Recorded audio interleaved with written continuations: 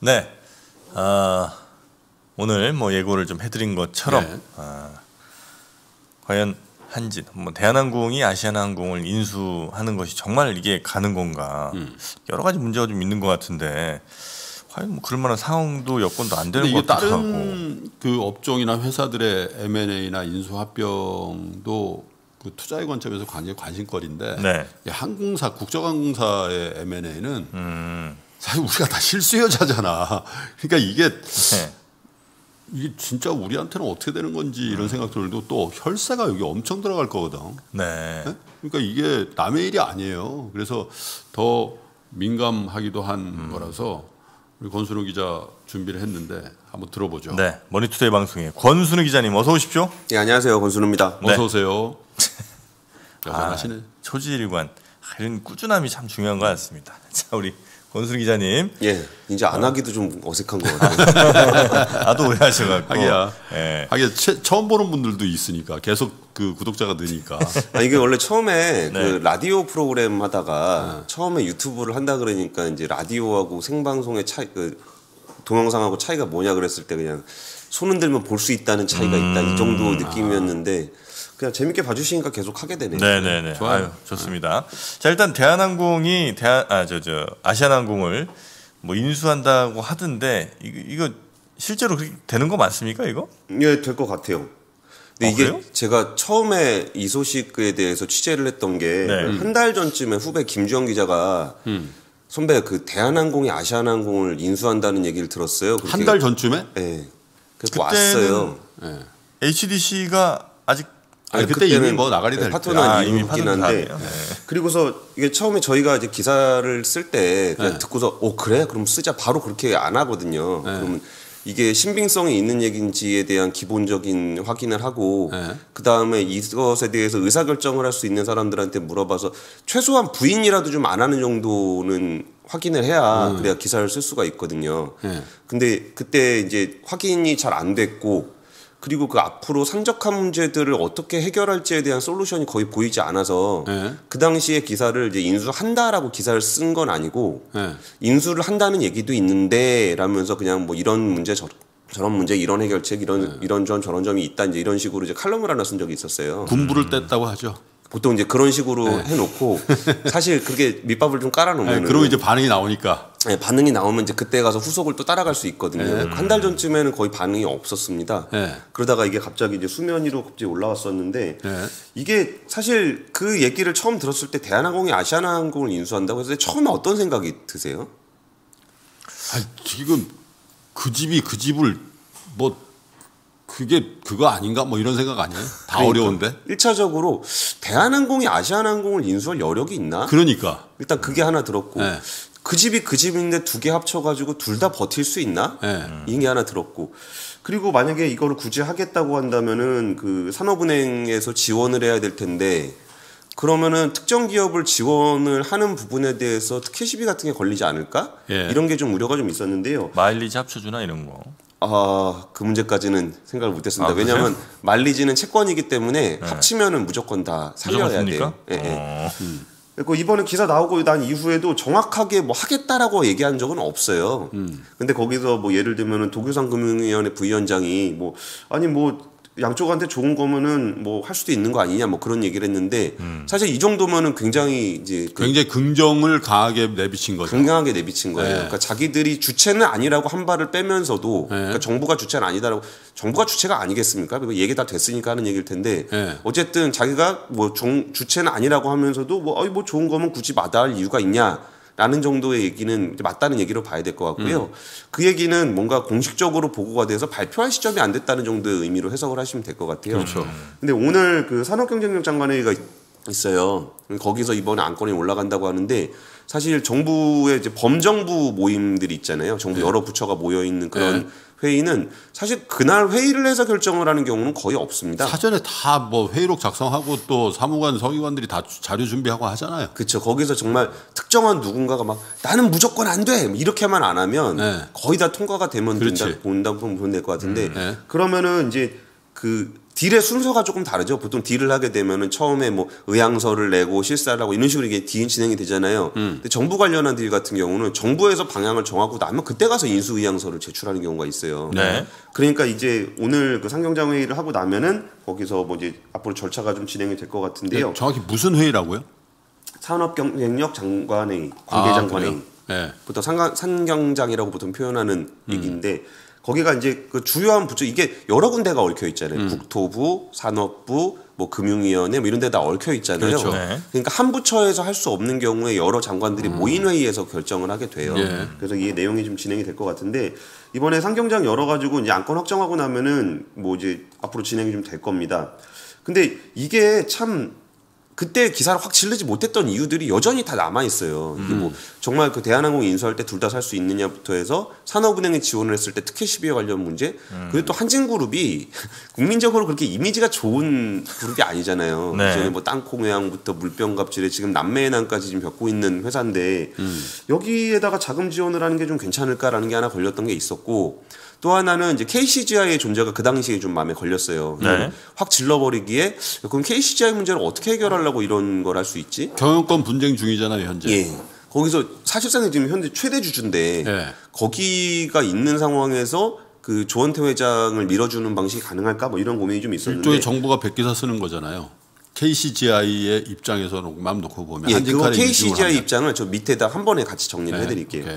그럼 일단 나오는 시나리오부터 한번 점검을 좀 한번 드려볼게요. 네. 일단 대한항공 한진칼은 돈이 없습니다. 네. 그래서 이제 아시아나항공을 인수를 하려 그러면 결국은 산업은행이 어떤 방식으로든 자금 지원을 해야 될 것 같은데 예. 그 얘기는 뭐냐면은 어 물건을 파는 쪽에서 돈까지 주는 거예요. 음. 그러니까 대한항공이 돈이 없으니까 한진칼에다가 산업은행이 돈을 주고 그 돈으로 아시아나항공을 사라 이런 구조입니다. 저를 줘요 그러면 내가 인수할게. 그러니까 특혜 시비 관련한 얘기가 난다는 거예요. 그럼 왜 대한항공에다 또돈 한진칼에다 뭐 예쁘다고 돈을 주고 아시아나항공까지 줘? 뭐 이런 생각이 좀 들 수밖에 없는데 어쨌든 그 방식으로 하게 되면은 이제 한진칼이 있고 거기다가 이제 돈을 주고서 이걸 아시아나항공 지분을 인수하게 되면은 밑에 대한항공하고 아시아나항공이 이제 개별적으로 존재하는 그런 구조가 됩니다. 네. 위에 한진칼이 지주사 역할을 하게 되겠죠. 그리고서 이거를 그런 얘기도 좀 있어요. 그 당시에 그 산업은행이 특정 회사에다가 자금 지원을 이게 출자로 지원을 해서 주식을 들고 있는 경우가 그렇게 많지는 않아요. 그래가지고 이게 혹시 산업은행이 직접 출자를 하는 게 좀 부담스러우면은 산업은행의 자회사로 있는 KDB 인베스트라는 회사가 있습니다. 아니 그거 그거 만든 것도 얘기가 많더군요 보니까. 예, 그게 이- 지금 있는데 그럼 그 회사를 통해서 그러니까 그 회사는 지금 대우건설 관리를 하고 있거든요. 네. 그러면 야 무슨 자회사를 만들어서 대우건설 관리하는 거 하나를 맡겨놓고 있냐라는 비판도 있어요. 네. 근데 거기 운영비만 해도 한 100억 든다며요. 아, 운영비는 뭐 인건비하고 뭐 그런 거가 들어가니까 그런 건데 그러면 이 회사에다 역할을 또 줄 필요도 있지 않겠느냐 그 생각도 그 당시 했던 거예요. 그래가지고 KDB 인베스트를 통해서 지원을 하게 되지 않을까라고 이제 저희끼리 시나리오를 쓴 거죠. 그래가지고 이제 KDB 인베스트에다가 연락을 해서 물어봤어요. 뭐 진짜 대한항공 인수 관련한 얘기를 좀 들으니까 일단 그 당시에는 이야기를 들은 바가 전혀 없다. 그래가지고 이제 그 당시에는 또 못 썼던 건데 어쨌든 그리고 이제 그 아시아나항공하고 대한항공의 MRO 정비 조직을 따로 분리해서 합치는 얘기도 좀 나오고 있거든요. 네. 그러니까 이 얘기는 뭐냐면은 항공사를 두 개를 하는데 이거를 인- 바로 합병을 하는 게 아니고 둘 다 인수를 했을 때 어떤 점이 좋은가에 대한 그 약간의 힌트를 좀 얻을 수가 있어요. 항공 정비 같은 경우는 사실 뭐 이 비행기 정비 하나 저 비행기 정비 하나 뭐 기종은 좀 다르겠지만 합쳤을 때 통합 시너지가 좀 있거든요. 그렇겠죠. 그리고 MRO 같은 경우는 우리나라 항공사 중에 MRO를 제대로 할 수 있는 회사가 여기밖에 없어요. LCC들은 자기네 비행기를 저- 자체적으로 정비하기가 좀 힘들기 때문에 저 동남아 싱가포르 같은 데 가서 고쳐 갖고 오거든요. 아 그래요? 예. 그래서 그러면 MRO 사업을 뭐 생각해 보면 우리나라 항공사 두 개밖에 없었기 때문에 두 군데가 MRO 정비를 자체적으로 한다 그러면은 MRO 산업 이 독자적으로 생존하기가 되게 어려운 구조였어요. 그러다 LCC들이 많아지니까 정비 수요는 많아졌는데 또 정비를 독자적으로 하는 데는 없으니까 결국 외국 가서 해와야 됐었거든요. 그래서 LCC들이 많아지면서 이 정비 사업을 좀 어떻게 외국에도만 의존할 수는 네. 없지 않냐 그래가지고 네. 정비 사업을 하려 그랬던 건데 이걸 한번 분할을 하는 건 어떻겠냐라는 얘기가 나온 거는 뭔가 지금 위에서 그림을 그리고 있는 분들은 이 항공산업 통합에 대한 시너지까지 염두에 두고서 그림을 그리고 있다라는 힌트로 보시면 될 것 같아요. 그리고 단기적으로는 이 항공사가 두 개로 있겠지만 나중에는 장기적으로 합칠 수도 있는 거 아니냐라고 할 때 이 합치는 거를 정부 쪽 산업은행 쪽에서 주게 강제적으로 하게 되면 반발이 굉장히 심합니다. 그래서 민간에다가 우선 넘겨놓는 경향들이 좀 있어요. 그러니까 일종의 약간의 제가 얘기 마지막에 그 관치금융 관련한 얘기도 잠깐 드릴 건데 이런 부분들을 좀 염두에 두고서 좀 진행이 되고 있다는 겁니다. 그러니까 또 어, 하나의 시나리오는 직접 돈을 넣는 시나리오고 누가 돈을 넣어요? 산업은행이 어디에? 한진카레 그 사는 돈 준다고 그래. 한진- 그, 카레 첫 번째 시나리오가 그거였죠. 예, 예. 한진 카레 돈 주고 인수하라고 하는 거. 예, 예. 네, 두 번째는 두 번째 시나리오는 정비 부분 합병? 아, 정비 부분 합병은 어떤 시너지를 염두에 두는 얘기인 거고 네. 시나리오 두 번째는 산업은행이 그 어 저기 아시아나항공의 영구채를 가지고 있어요. 네. 8천억 원 규모의 영구채를 가지고 있는데 이거는 주식으로 전환할 수 있는 권리가 있는 네. 영구채예요. 네. 그러면은 이거를 주식으로 전환을 한 다음에 돈을 주는 게 아니고 주식을 한진칼에 줄 수도 있어요. 그냥 아 그리고서 이제 한진칼 주식을 받아야죠. 아, 그 준다는 게 돈을 그냥 주는 게 아니고 네. 한진칼의 주식을 받고 돈을 주거나 아니면 아시아나항공의 주식을 주거나 첫 번째 시나리오가 돈을 주는 방식이었고 두 번째 시나리오는 아시아나항공의 주식을 주는 방식이 되는 거죠. 네. 근데 여기에 따라서 이해관계들이 많이 복잡해지는데 그 얘기는 뭐 오늘 뭐 그냥 생략하겠습니다. 네. 그리고 이게 지금 항공사가 어려운데 네. 지금 둘이 합쳐가지고 이게 뭐 둘 다 뭐 망하는 거 아니냐, 오히려 정부 부담만 더 커지는 거 아니냐라는 우려가 좀 있긴 한데 네. 이 부분에 대해서는 어떤 얘기가 나오냐면은 어차피 나라 돈을 넣어야 될 수밖에 없는 상황이다. 항공업에다가 어차피 예, 어차피 지금 먼저 코로나 때문에 워낙 안 좋기 때문에 이미 아시아나항공에는 국책은행에서 3.3조 원 지원했고 기간산업 안정자금으로 2,400억을 집어넣었어요. 아시아나항공에다. 3조 3천억 원을 지원을 했다고요? 예, 예. 지원이라는 거는 대출의 형태가 될 수도 있고 막 그래요. 그러니까 금융에서는 용어가 조금 헷갈릴 수도 있는데 네. 대출해 주는 것도 자금 지원이라고 보통 표현을 하는 거예요. 그때 지원은 그냥 내가 민간은행이나 증권회사잖아 절대 안 해. 안 해주죠. 안 하는 건데 정책금융기관이니까 이 산업을 죽일 수 없고 고용 때문에 그냥 지원은 아니고 예, 그 예. 대출이 됐던 뭐 증자 참여가 됐든 그 금융 거래인데 마음이 없는데 하는 거니까 지원이라고 하는 거죠. 그렇죠. 시장에서 거래되지 않는 얘기예요. 그러니까 은행에서 아까 그러니까 대출 받는 게 대출해 주는 게 무슨 지원이야 그렇게 생각할 수도 있겠지만 대출 받아보신 분들 아, 아시, 아시잖아요. 자기의 한도가 이만큼인데 신용도가 낮은데 뭐 예를 들어서 은행에선 절대 지원해주지 않는 대출해주지 않는 사람에게 은행에서 대출해준다 그러면 지원이라고, 지원이라고 하잖아요. 네. 3조 3천억 원이면 살 수 있지 않습니까 아시아나? 아 이게 부채하고 채권의 아, 부채하고 이 출자의 문제가 있는데 네. 아시아나항공은 빚이 굉장히 많아요. 네. 그러면 이게 만기가 돌아왔을 때 이 만기된 자금들을 상환을 해야 되잖아요. 근데 상환을 할 수 없는 상황이 될 거 아니에요. 너 돈 빌려주는 사람이 없으니까. 그러면은 그 대출을 갚을 수 있는 돈을 다시 대출을 해주는 것도 지원이라고 표현을 해요. 근데 대출을 아무리 많이 해준다고 해서 그 아시아나항공을 인수하는 건 아니잖아요. 그래서 이게 어, 그 어쨌든 지원이라는 건 그런 성격이 네. 있습니다.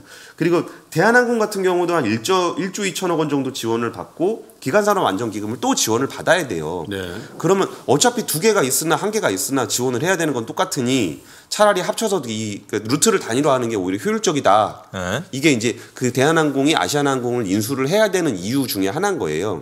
그리고 예전처럼 항공사가 별로 없을 때도 아니고 지금 굳이 국적 항공사를 두 개나 유지할 필요가 있느냐.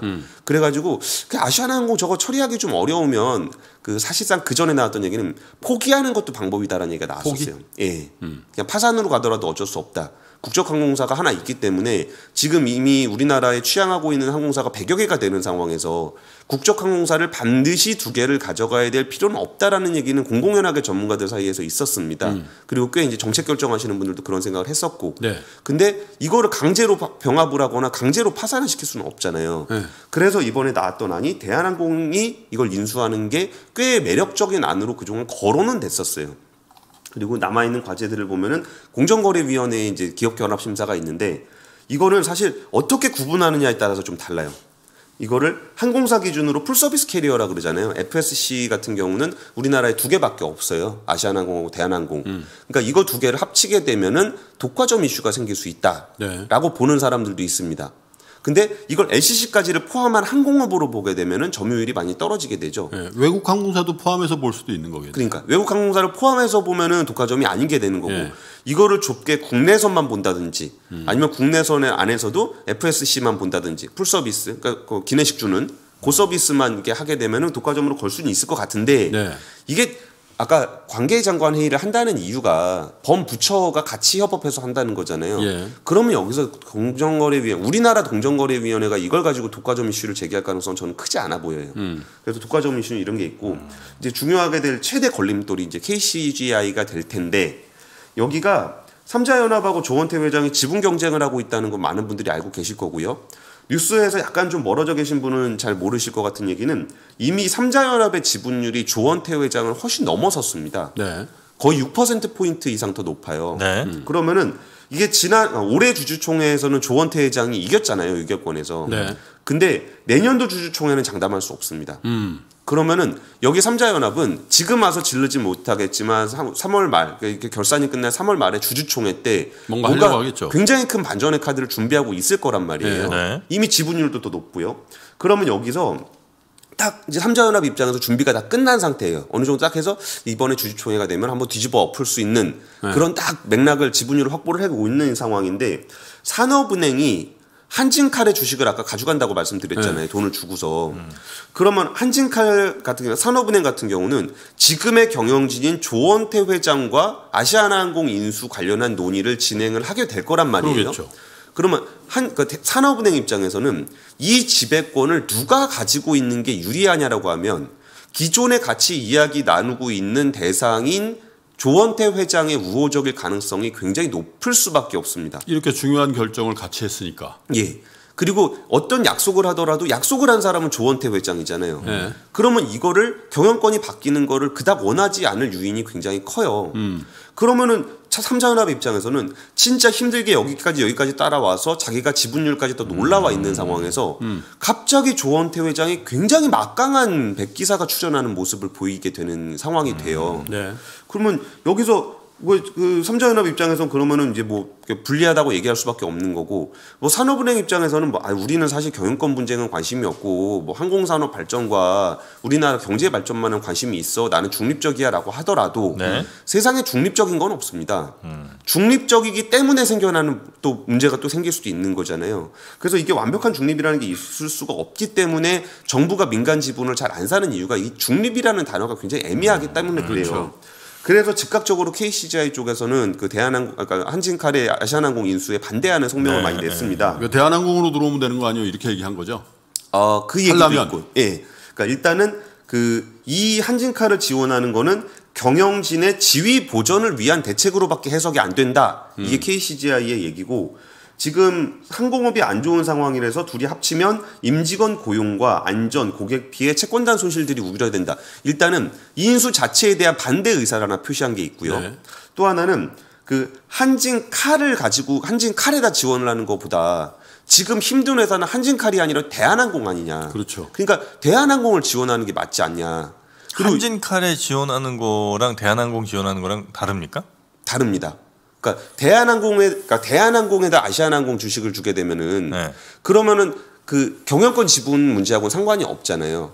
대한항공을 지배하고 있는 한진칼을 지금 경영권 분쟁 중이니까. 네. 네? 그러니까 여기다가 제3자 배정을 하면은 그 백기사가 될 수가 있는데 한진칼에 한진칼에 그 유상증자를 참여하면 네. 근데 그 밑에 지배하고 있는 대한항공을 통해서 아시아나를 하면 여기는 뭐 더 좋아질 수도 있는 거죠. 그렇죠. 네. 그러면은 경영권만 잡으면 예. 그러니까 이 대- 대한항공을 통해서 아시아나항공을 지배하게 되면은 그 위에 한진칼의 지배권은 상관이 없잖아요. 그러면은 삼자연합 입장에서도 만약에 밑으로 지원을 한 다음에 자기들이 경영권을 먹으면 다 먹을 수 있는 거고. 그렇죠.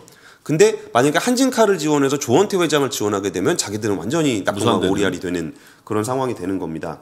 그러면 삼자연합의 반발도 충분히 일리가 있어요. 기존에 이제 주주권을 가지고 경쟁을 하고 있는 상황에서 정부가 갑자기 개입을 해서 경영진의 손을 들어준다는 건 반발할 이유가 충분히 되고요.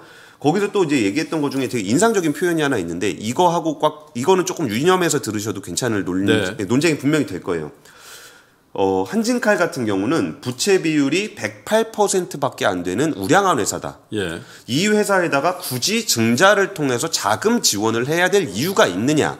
이것은 조원태 회장의 우호 지분이 되기 위한 것밖에 안 된다라고 이제 삼자연합에서 얘기를 했는데 이게 뭐를 염두에 둔 포석이냐면은 한진칼의 삼자 배정 유상 증자 누군가에게 주식을 파느려면 정관에 기록된 내용이 있어요. 예. 정관에서 한정적으로 긴급한 자금 조달을 위해 신주 발행을 하는 경우라는 게 정관에 적혀 있습니다. 아, 긴급한 정관에 한진칼 정관에 예, 한진칼 정관에 주식을 찍어서 특정한 사람한테 매각을 하는 삼자 배정 유상증자의 경우 예. 긴급한 자금 조달이 필요한 경우라고 명시가 돼 있어요. 음. 이게 뭔 얘기냐면 아까 앞에 얘기했죠. 부채 비율이 충분히 낮은 회사라는 거는 한진칼은 긴급한 자금을 요하지 않는다는 얘기를 삼자 연합은 근데 먼저 얘기한 거예요. 그건 삼자 연합 연합 측의 유권 해석이고 해석이고 그렇죠. 긴급한 일상적으로 우리도 이사회도 해보고 하면 긴급한 자금 조달의 구성 요건에 이렇게 중요한 그 빅딜을 하기 위한 자금 조달이 긴급하지 않냐 라고 얘기하겠죠. 그렇게 주장을 할 텐데, 그러니까 앞으로 나오는 뉴스, 그러니까 삼자연합이 어떤 걸 가지고 걸 것인가의 어떤 단서를 이번에 하나 포즈를 내놨다는 측면에서 말씀을 드리는 거고요. 그렇게 되면은 이제 그 어, 삼자연합에서는 이 왜 그러냐면 정관에 아까 이사회가 일반적으로 그런 거 아니냐라고 말씀을 하셨었는데 정관에 보통 경영상의 필요에 따라 이런 식으로 두루뭉술하게 해놓는 데도 꽤, 네. 꽤 많아요. 네. 근데 한진칼 같은 경우는 굉장히 이걸 깐깐하게 해놓은 그좀 특별한 케이스거든요. 그러다 보니까 이걸 분명히 시비를 걸려고 할 거고 네. 이런 문제가 생기는 겁니다. 그러면 이 구조상에서 앞으로 얘기가 진행이 좀 될 건데 이제 조금 난도가 좀 있는 얘기고 이 딜을 우리가 어떻게 바라봐야 되는지를 이제 국민적인 입장에서 한번 볼게요. 네. 그러니까 아까 아, 주가적인 시나리오는 아시아나항공은 냅두면 죽으니까 누군가 사거나 이런 사람이 주체가 드러나면은 주가상으로는 호재입니다. 이거는 뭐 너무나 당연한 얘기죠. 가만히 냅두면은 굉장히 이제 망할 수도 있으니까.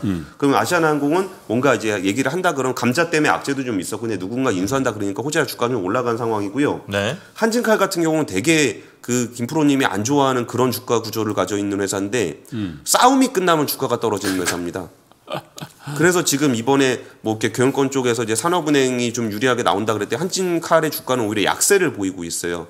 회사 사이즈는 굉장히 커지는 분위기인데 야 저렇게 해서 게임이 끝나버리면 주가는 안 좋을 거 아니냐라는 얘기가 좀 나오고 있는 거고 이게 산업은행이 요즘에 요새도 최근 몇 년 동안 이런 식의 딜을 좀 많이 해요. 아까 정프로님이 불편하게 느꼈던 아니 왜 돈을 주고 주식을 사라 그래?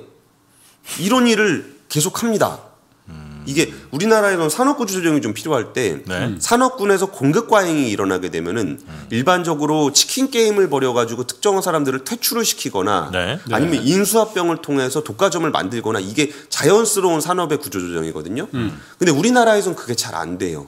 그래가지고 그냥 제살값 깎고 먹기 하면서 성장이 막 떨어져 있는 상황에서 혁신도 이루어지지 않는 상황에서 그냥 계속 가는 산업들이 있어요.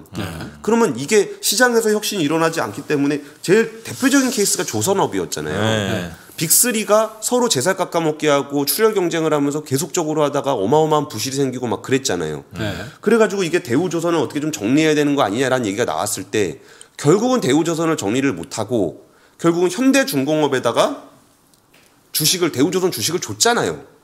그리고서 한국조선해양 주식을 받아왔단 말이에요. 그러니까 네. 현대중공업그룹 입장에서는 돈 한 푼 안 들이고 대우조선을 인수했어요. 네. 이 문제가 뭐 어떻게 보면은 야 그 살리긴 살려야 되는데 방법이 없지 않- 없지 않냐라고 한다면은 뭐 사실 방법이 많지는 않아요. 대우조선을 바로 죽여버릴 수도 없고 그렇다고 이거를 사갈 수 있는 주체를 따로 구할 수도 없고 그런 사람이니까 의존할 때가 저기밖에 별로 없었다는 건데 어쨌든 우리가 되게 불- 이 상황 자체는 되게 이상하게 보는 게 맞아요. 대우조선을 무려 국가 돈 지원을 한 13조 원을 지원받은 대우조선을 돈한 푼 안 받고 현대중공업 그룹에다 준 거예요.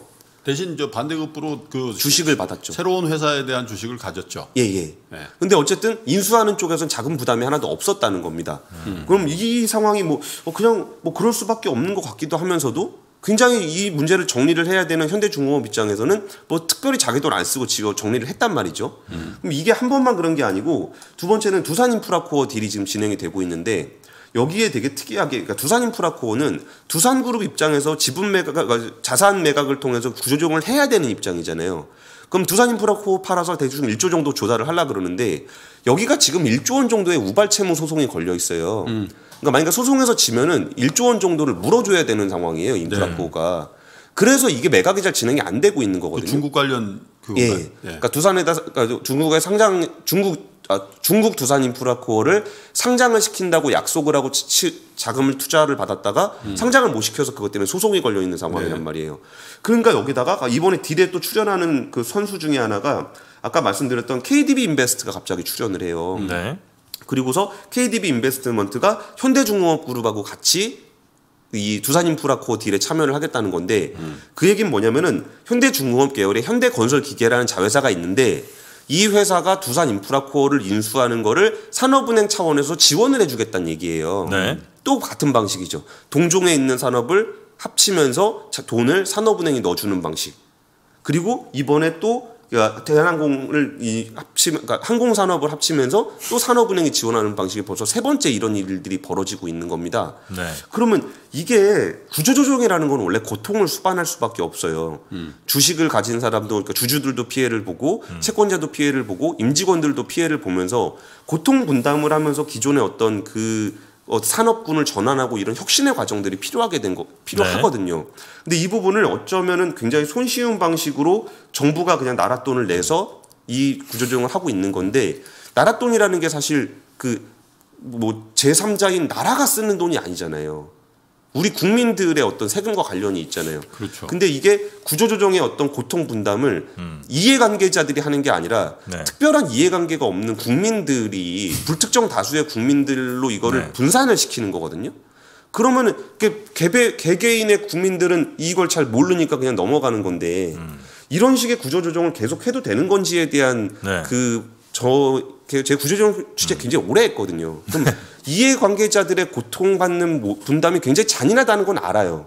그렇다고 해서 이 고통을 불특정 다수의 국민들에게 흙 뿌리는 게 과연 정상적인 구조조정 스킴인가에 대해서는 네. 약간의 좀 고민은 좀 필요한 것 같아요. 그 제가 그게 좀 궁금한 건데 그렇게 나라가 자꾸 개입해서 뭘 하는 게 이게 괜찮은 장기적으로 볼 때도 이게 원래 괜찮은 건지 하나 좀 궁금하고요. 또 하나는 이게 아주 좁은 식견인지 모르겠는데 이게 회사 하나가 뭐 한 100억짜리 회사가 있는데 빚이 막 5천억 됐어.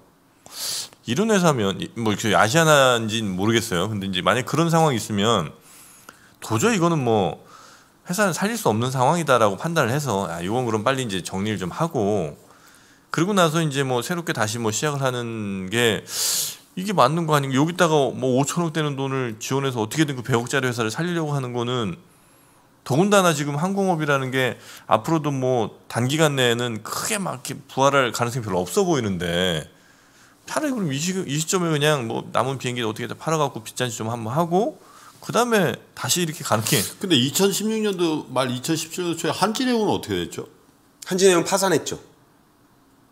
그때는 왜 그렇게 했지? 그게 원칙이라 그랬어요. 그러니까 정프로님이 말씀하신 게 네. 어쩌면 되게 상식적인 얘기예요. 음. 근데 그 과정에서 아까 말씀했잖아요. 뭐 빚잔치 좀 하고 뭐 빚잔치라는 건 채권자들이 채권 손실을 많이 네, 본다는 네, 거고 파산을 해서 상장 거래가 주식 상장이 폐지가 되게 되면 주주들이 피해를 보게 되는 거고 파산을 하게 되면 그거 투자 책임이죠 비- 돈 빌려준 책임이고 그러니까 맞아요. 그러니까 거기서 임직원들도 회사에서 잘리고 막 그러면서 고통을 받게 되는 건데 네.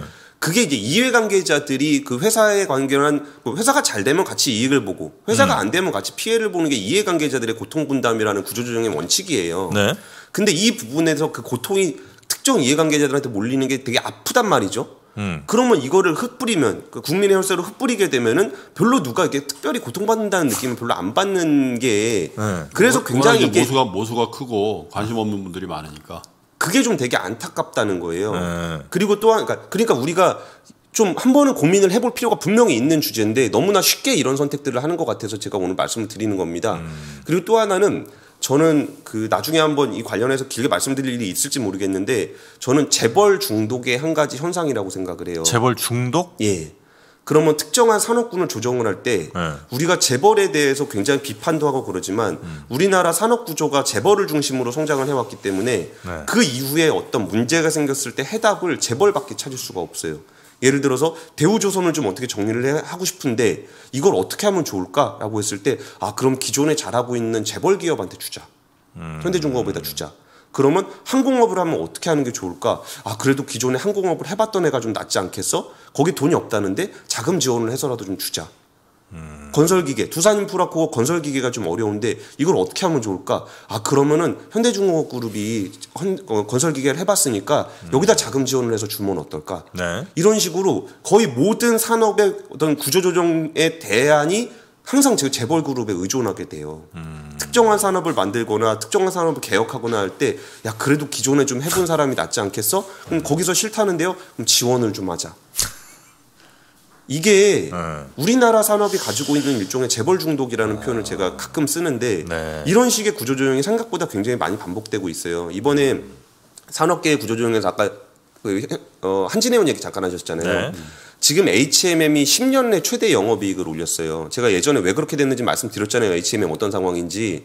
그러면 그런 얘기들 하세요. 야 한진해운이 살아 있었어야 되는 거 아니야? 이렇게 좋아질 줄 알았으면 이라고 얘기하는데 오히려 반대로 글로벌 해운업계에서는 한진해운이 그때 없어졌기 때문에 산업계의 어떤 그 공급 과잉이 해소가 돼서 지금의 시대에 왔을 수 있다는 얘기를 하게 돼요.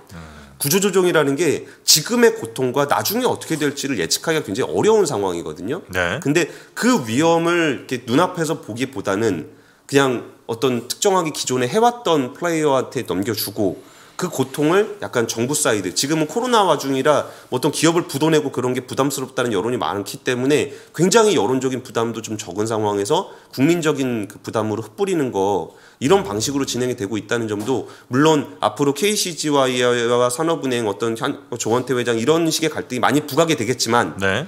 어, 이게 약간이라도 이거를 이제 산업은행이 자금 지원을 하는 걸 통해서 구조조정을 하는 이런 방식에 대해서도 조금 가끔이라도 좀 생각을 한번 해봐 주셨으면 좋겠습니다. 요 항공산업 그 구조조정에 관련된 거 그리고 이 한진칼의 그 산업은행 유상증자에 참여하는 게 맞는지 안 맞는지에 대한 것들은 저희가 이미 섭외를 일부 다 했어요. 그래서 에, 지금 권 기자가 언급한 아주 민감한 에, 민감한 쪽에서도 어, 출연할 계획이 있습니다. 그래서 지금은 저희가 뭐 에, 말씀드리기 좀 그렇습니다만 아마 이번 주 내로 여러분들에게 에, 찬성 반대 또 이 문제가 뭔지 이런 부분에 대해서 저희가 에, 훨씬 더 긴 시간을 투자해서 에, 저희가 프로그램을 계획 중에 있으니까 한번 에, 기다려 보시고요. 그 과정에서 필요하면 우리 권순우 기자도 좀 참여하시면 좋을 것 같습니다.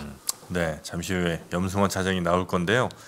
그 아시아나 3.3조 한진 그러니까 거기에 이제 1.2조 주고 더 들어가 기간산업 안정기금 또 들어갈 겁니다. 더 들어갑니까 앞으로? 예, 기간산업 안정기금은 또 들어갈 것 같습니다. 알겠습니다. 자 오늘 어, 대한항공이 아시아나를 인수하는지 이 문제에 관한 여러 쟁점들 짚어주신 머니투데이 방송의 권순우 기자님 대단히 고맙습니다. 예, 감사합니다. 네.